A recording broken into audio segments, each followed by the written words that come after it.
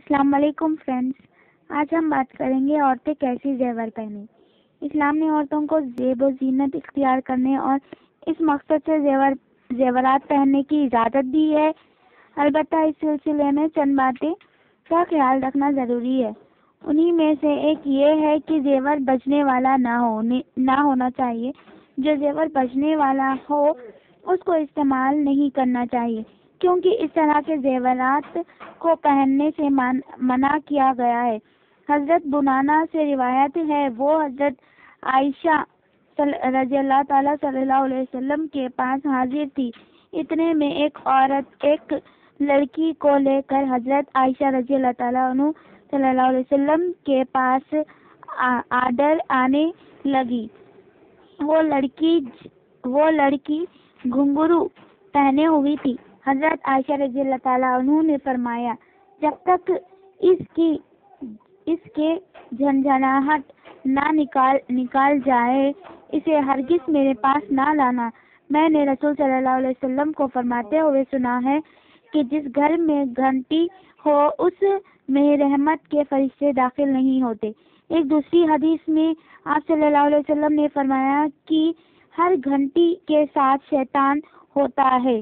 ان ان احادیث سے معلوم ہوا کہ بجنے والے زیور، گھنگرو اور گھنٹیاں شیطان کو پسند ہے اور یہ شیطان کے بجی ہے بجی ہے۔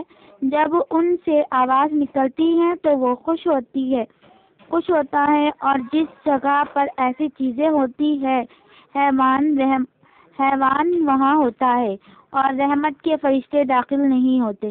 اس لیے عورتوں کو بچنے والے زیورات استعمال کرنے سے بچنا چاہیے۔ نیز زیور کسی جاندار یا سلیب کی شکل میں بنا ہوا نہ ہو۔